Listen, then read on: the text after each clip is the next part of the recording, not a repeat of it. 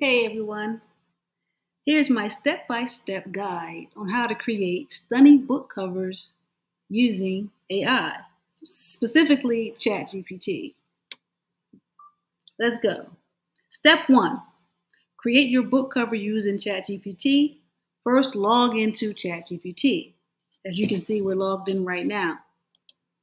Now, if you don't have a ChatGPT account, create one and ensure you subscribe to ChatGPT Plus. Because in order to access the image creation features, you need to have a Plus account.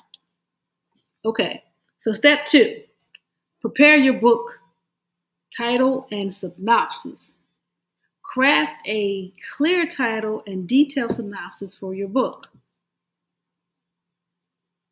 This synopsis should capture the essence and elements and narrative details guiding AI into creating the right cover.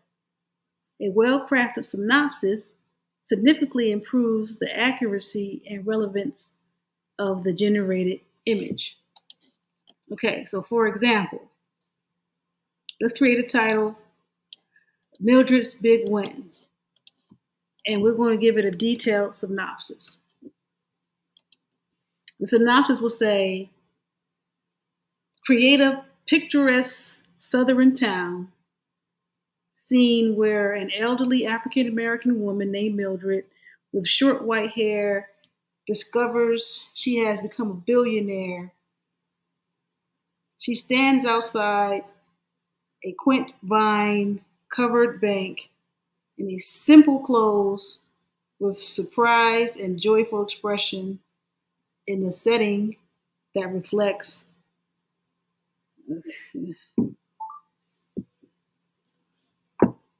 let's do this again